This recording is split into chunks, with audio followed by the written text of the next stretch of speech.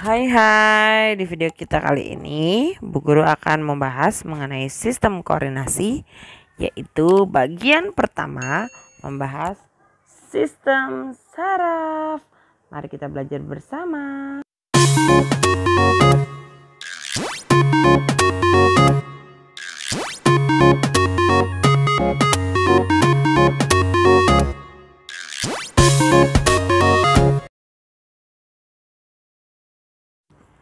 Pada kali ini kita akan membahas uh, peta konsepnya terlebih dahulu ya, yaitu tentang sistem koordinasi manusia. Dibagi menjadi tiga bagian, ada sistem saraf, sistem hormon atau endokrin, dan juga sistem indera. Pada sistem saraf, kita akan membahas struktur sistem saraf, jenis sistem saraf, dan gangguan sistem saraf. Sedangkan untuk endokrin atau sistem hormon, kita akan mempelajari struktur sistem hormon, jenis sistem hormon, dan juga gangguan sistem hormon. Nah, pada bagian ketiga yaitu sistem indera, kita akan mempelajari struktur dan e, jenis sistem indera serta gangguan-gangguan pada sistem indera.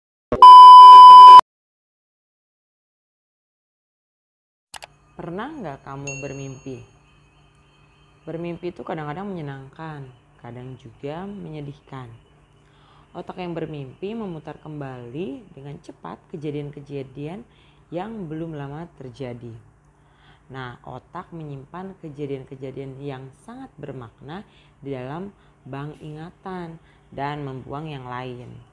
Walaupun yang bermakna itu tidak jelas bagi sang pemimpi, mimpi-mimpi sering terjadi pada tingkat yang dalam dan kadang-kadang berada di bawah inti ketidaksadaran. Begitulah otak.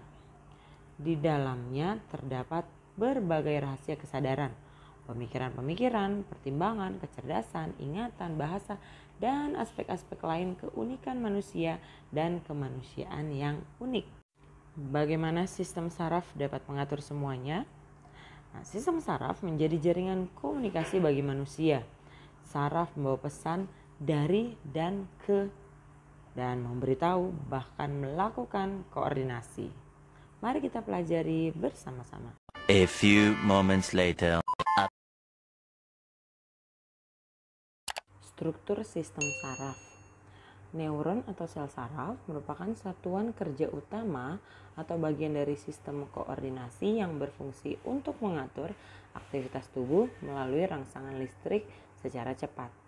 Nah, komponen sistem saraf terdiri dari sel saraf, sistem saraf pusat, dan sistem saraf tepi. Nah, untuk bereaksi terhadap rangsangan diperlukanlah tiga komponen, yaitu reseptor, sistem saraf, dan juga efektor. Ini adalah gambar struktur neuron atau sel saraf. Bisa kita perhatikan ya. Berdasarkan fungsinya, sel saraf dibedakan menjadi tiga. Ada neuron sensorik atau neuron aferen, ada neuron motorik atau neuron afektor, dan juga ada neuron asosiasi. Nah, berdasarkan tempatnya, neuron asosiasi dibedakan menjadi dua. Ada neuron konektor, ada neuron adjustor. Nah, impuls adalah rangsangan atau pesan yang diterima oleh reseptor dari lingkungan luar. Kemudian dibawa oleh neuron atau serangkaian pulsa elektrik yang menjalari serabut saraf. Kita ingat gambar yang tadi ya, yang sebelumnya. Seperti kita ketahui bahwa gerakan itu ada dua macam, ada yang sadar atau refleks.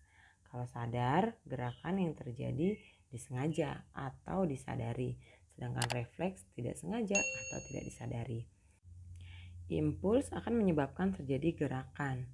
Kita lihat nih, ada gerak sadar, impuls, reseptor atau indera, saraf sensori, otak, saraf motor, lalu efektor atau otot. Nah, untuk gerak refleks dia e, tidak ke otak ya, tapi ke sumsum -sum tulang belakang. Akibatnya ada perbedaan mutas, muatan sel saraf. Perbedaan muatan sel saraf ini menyebabkan impuls merambat ke sepanjang akson menuju sinapsis. Selanjutnya adalah jenis sistem saraf. Sistem saraf bekerja berdasarkan impuls elektrokimia. untuk melayani tubuh dengan berbagai macam cara. Sistem saraf berfungsi sebagai peninjau bagi tubuh dan pengumpul informasi tentang dunia di luar maupun di dalam tubuh kita. Selain itu, juga berfungsi sebagai pusat komunikasi umum, pusat pemetaan strategis, dan sebagai pembuat keputusan dalam sesuatu yang dilakukan oleh tubuh kita. Nah, guys, coba lihat. Ini adalah gambar dari sistem saraf pusat. Ya, sistem saraf pusat adalah bagian sistem saraf yang mengkoordinasikan semua fungsi saraf ada otak besar, talamus, korpus, hipotalamus, jembatan farol, otak kecil, hipofisis, dan lain sebagainya. Nah, sistem saraf pusat ini berfungsi menerima semua rangsangan rangsang saraf dari luar tubuh atau dari dalam tubuh. Nah, sistem saraf juga bisa bertindak sebagai pusat integrasi dan komunikasi. Sistem saraf pusat terdiri atas otak, kemudian otak ini terdiri atas dua belahan yaitu otak kiri dan otak kanan. Otak kiri mengendalikan tubuh bagian kanan dan otak kanan mengendalikan tubuh bagian kiri. Lalu otak ini jadi empat bagian yaitu ada otak besar cerebrum, otak tengah, otak depan, otak kecil atau cerebellum dan juga sumsum -sum lanjutan. Yang kedua, sumsum -sum tulang belakang atau medula spinalis.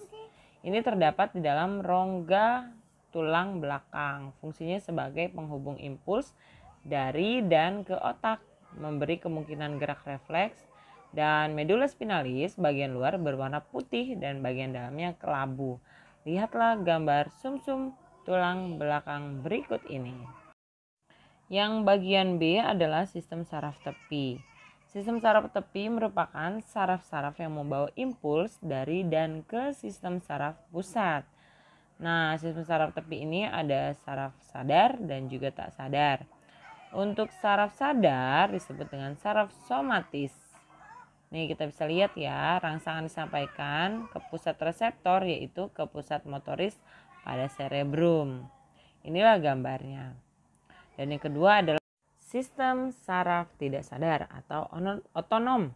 Saraf otonom adalah saraf yang rangsangannya tidak disampaikan ke otak. Tapi sistem saraf otonom mengontrol kegiatan organ-organ dalam. Berdasarkan sifat kerjanya, saraf otonom dibedakan menjadi dua, yakni parasimpatik dan simpatik. Apa sajakah itu? Silahkan kita lihat pada gambar berikut ini. Selanjutnya adalah gangguan atau kelainan atau penyakit yang berkaitan dengan sistem saraf. Yang pertama adalah epilepsi, ada meningitis, ada encephalitis, ada neuritis, ada rasa baal atau kebas dan kesemutan, ada juga epilepsi atau ayan, ada Alzheimer, ada gegar otak, ada stroke, ada amnesia, ada Parkinson, dan juga poliomyelitis dan lain sebagainya. Kesimpulan atau rangkuman dari pelajaran kita kali ini adalah ada 9 hal yang perlu kita pahami. Semoga materi tentang sistem saraf ini boleh menambah pengetahuan kita sehingga aplikasinya pastinya kita bisa menjaga kesehatan tubuh kita terlebih menjaga kesehatan sel saraf tubuh kita.